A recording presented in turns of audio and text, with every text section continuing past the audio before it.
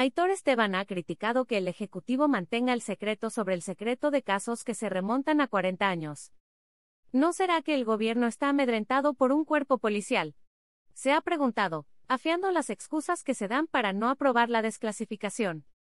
Y ya que se ha aceptado esa desclasificación, Aitor Esteban pedía saber si el gobierno tiene también intención de levantar el secreto sobre los denominados casos Abalsa y caso Aldana. Años después se recabaron testimonios de que había sido torturado en el cuartel hasta su muerte. Suscríbete al canal para no perderte ninguna noticia.